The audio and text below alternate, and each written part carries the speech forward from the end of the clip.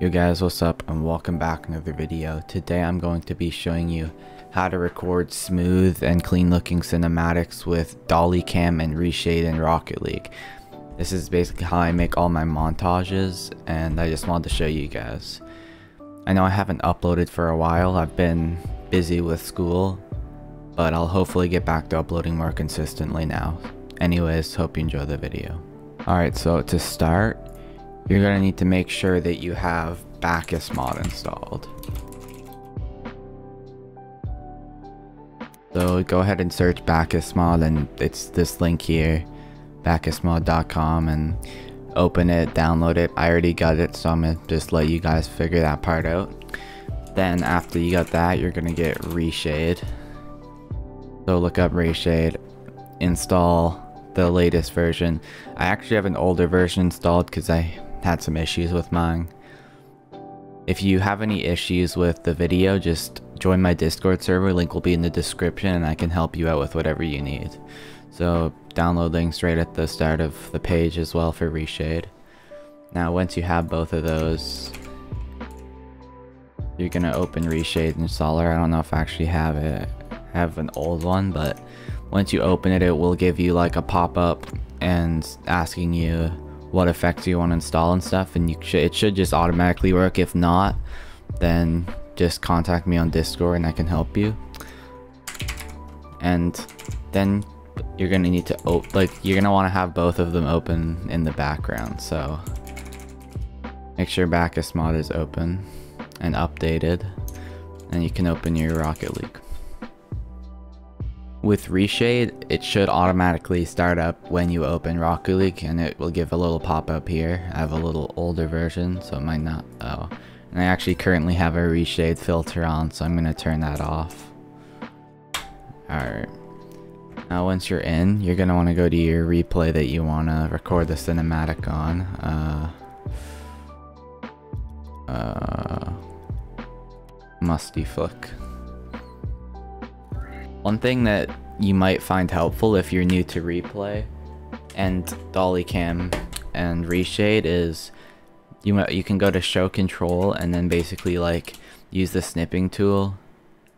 Take a picture of the controls and put it on another monitor or just like keep it attached to the screen so that you can look at it. So that you don't forget the controls because it can be annoying if you forget the controls so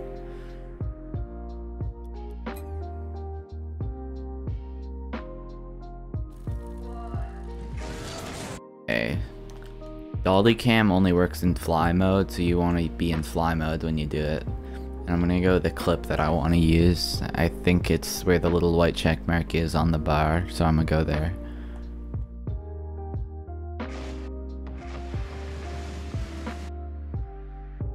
I'll just go player view for a sec so I can see this better.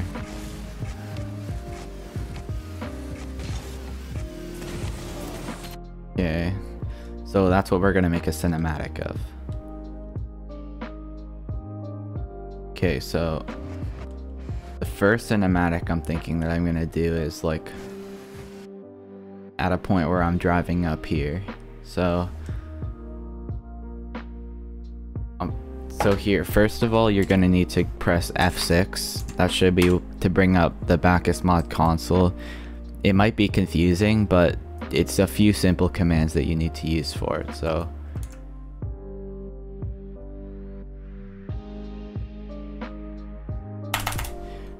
Oh, my thing is glitched. Wait, so you're gonna first type exec dolly cam.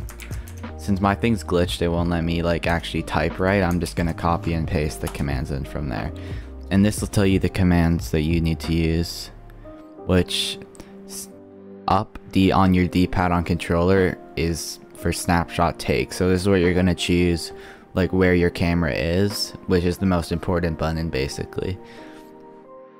I don't know if you you should be able to yeah, you can use your keyboard as well if you don't want to. I don't know if you can actually change the bindings, but you may be able to, but I haven't bothered to test that out. Once you got that and you know the controls that you have set, you're gonna do dolly cam and dolly underscore activate. Uh, wait no, no dolly if you've used uh, dolly cam before, you're gonna want to do dolly underscore path clear just in case, because if you don't have your path cleared and you start to make another path, it can really like mess up the path and it'll just like randomly teleport somewhere on the map. Once you got that, you're gonna do dolly underscore deactivate to make sure that it's not active.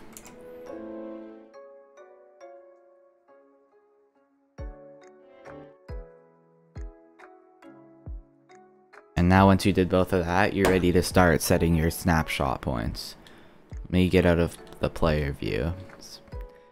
And I'm thinking I'm going to start a snapshot right here. So I'm going to press up on my D-pad, which is also my scoreboard bring up, but it doesn't really matter. Then I'm going to press play and count for 3 seconds. I'm going to keep counting 3 seconds every snapshot just to keep the speed consistent so that it doesn't like randomly speed up the like the recording. So one, two, three. I'm actually going to do one thing first. I'll wait for. I forgot. I usually put my speed at 25 or below, so I'm gonna do that first as well. I'm gonna go one. It didn't.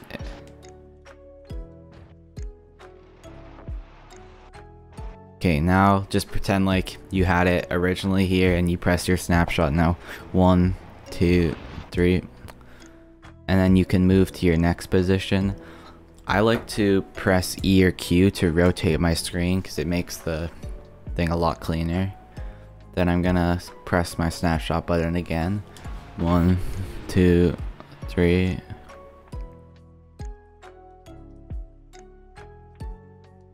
Next I'm gonna do it right here. Maybe rotate it a bit more.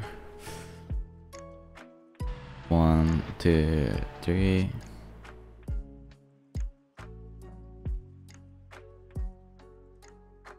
Maybe try something like this. I'll make it a little bit flatter now because it's kind of getting rotated a lot. Snapshot. One, two, three.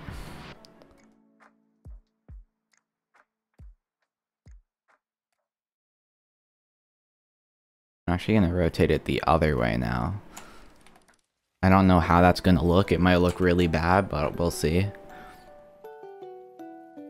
And here's where I'm basically I'm gonna end it because I'm now you can zoom away and you may already see your path there in blue outlining but if you do not you can press O on your keyboard and it will show the path.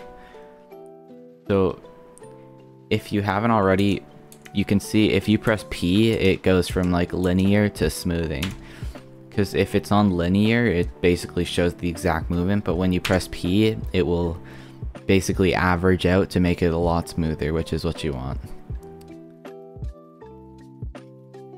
Now I'm going to go back to where I no longer see any red on the line.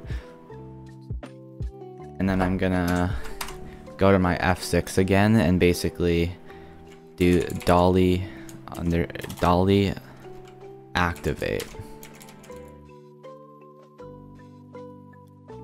This will activate the path.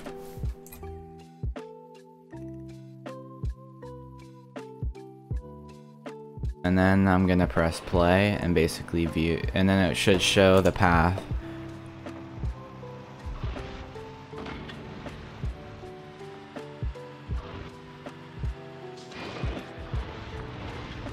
Alright, so the rotation looks pretty decent. I am happy with that.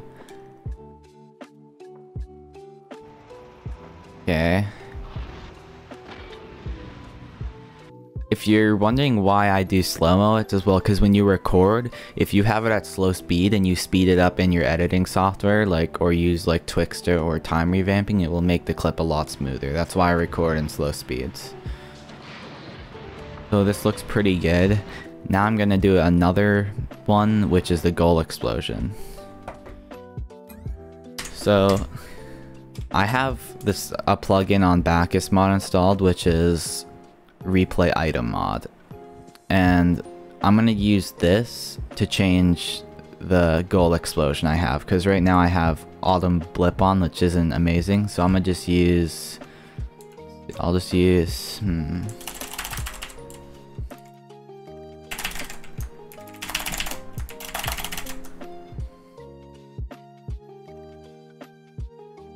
I'll use Hellfire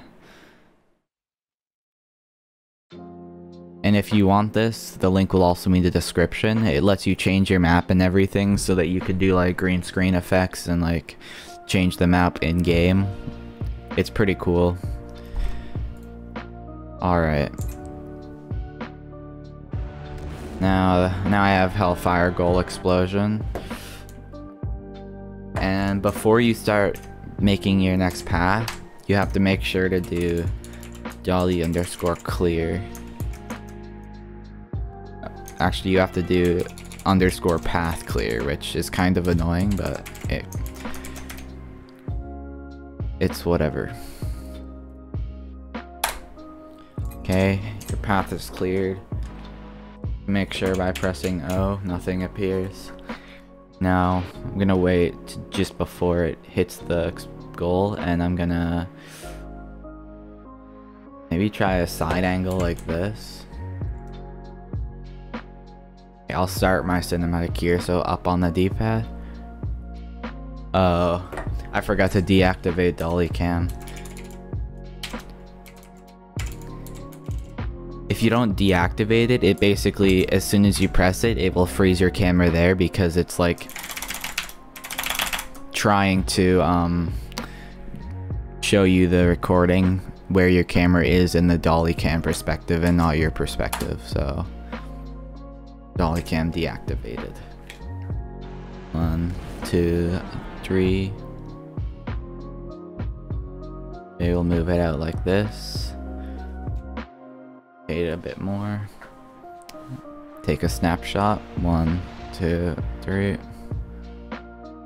Maybe rise it up a bit. Do that. One, two, three. And the last one we'll put right over here. It's kind of like pans around the Hellfire explosion. Two, three, maybe one more. Flatten out my camera. Oh, and now you can see a nice smooth line going around the goal explosion. Gonna go back until the red line is gone. No red line. I'm gonna activate dolly cam.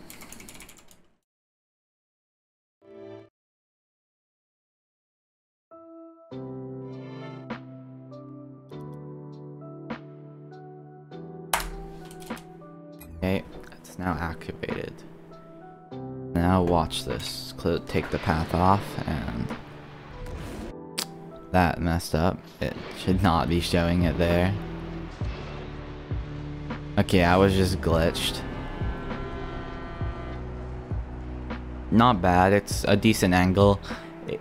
I don't like, like the consistent speed is something that I'll change once I get into After Effects to like add time remapping so it like quickly swings around and like slows down and just speeds out basically.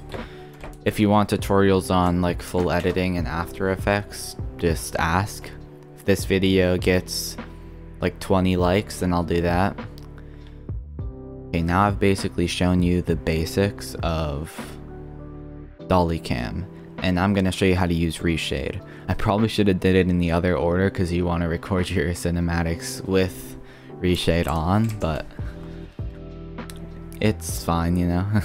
I'm gonna find I'm gonna go to a point just for reference. I'm gonna go right here and then I'm gonna now so the command to open up reshade is home button on your keyboard which is over by the number pad next like by the your backspace. It should be to the right of that. I don't know what your keyboard looks like but it's over there. The home button it's right below scroll lock so press that. Ignore this it's just another thing that uses the same bind. It's like a custom map thing. And basically reshade the way I like make my uh, reshade is I just kind of start randomly applying effects and seeing what looks good. SMA and FXA I usually put on. Maybe HDR, depending on the scene I want. But one of the most important effects you want is light DOF bar. Because you can see this does the blur in the background, which is like a huge part of it. Making like cinematics look clean. You could go way overboard with it, but I'm gonna just do something like this. Ambient lighting is something I also like to use. It just lights it up a little better. And adaptive fog is also really nice. So you can see the background, you can change the color pretty much. I'm gonna do like a little nice bright blue.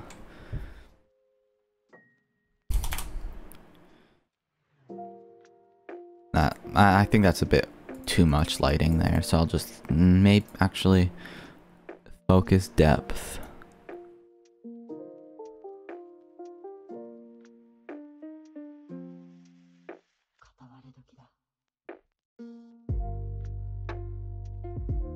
Oh, thou. Uh, that just blinded me. Epilepsy warning.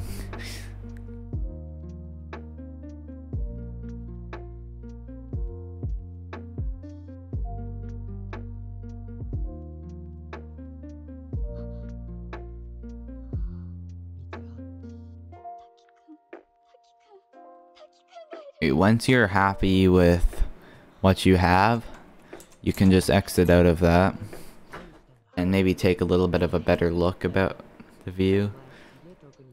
And as you can see, the game already looks like 10 times better. Like this will really make your cinematics look better and your shots. So since I already have the path from the dolly cam still in, I'm gonna just take a look at how this looks with the goal explosion. You can see a massive difference. Yes, well, some so using reshade can mess up goal explosion recordings, like like using the fog, like you can kind of see through the goal explosion, but it's not a huge deal.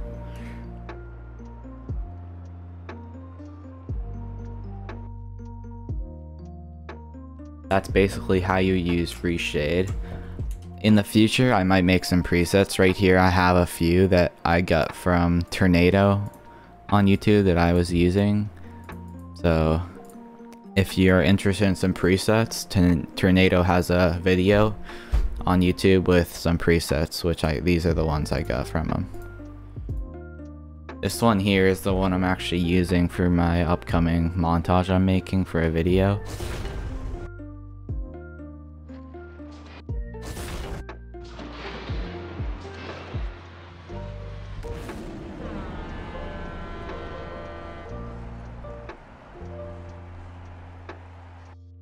Anyways, I think that's basically all I have to say for the video.